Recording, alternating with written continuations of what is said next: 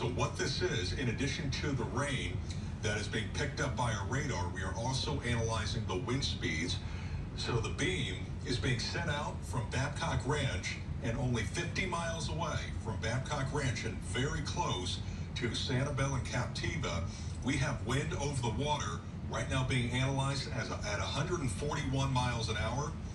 As we do some more sampling, 170 miles an hour is right now being picked up on our radar for the southern portion of the eye wall. So let's switch back over to radar, show you where that is.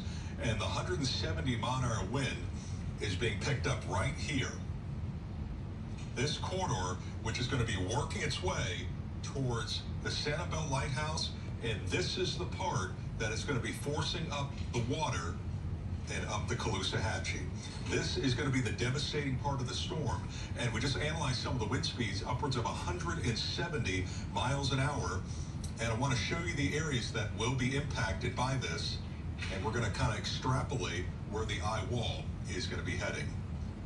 So let's stop the time lapse and I'll show you where it is going to be generally moving towards. I'll draw some lines on here and it's pushing to the northeast at about 9 to 10 miles an hour. So these are the areas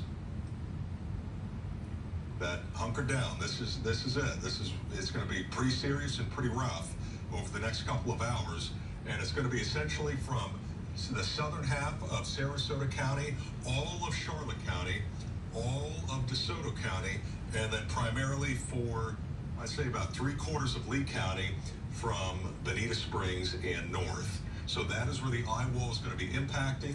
It will get rough. You're going to look outside, you are going to hear some loud noises, and even your apartment or your home may even shake a little bit. And that is that hurricane force wind that is pushing on shore. Something that I hope I do not see for a long, long time again. This is the zoomed in view of the visible satellite imagery as we have the eye that is now approaching Sanibel as well as Captiva and how this is going to go. Right now, Sanibel is seeing the eye wall, wind gusts of over 100 miles an hour. Then the sun is going to come out. The winds are going to calm down. Then as the eye passes by, we will start to see wrap around strong winds again. So I cannot stress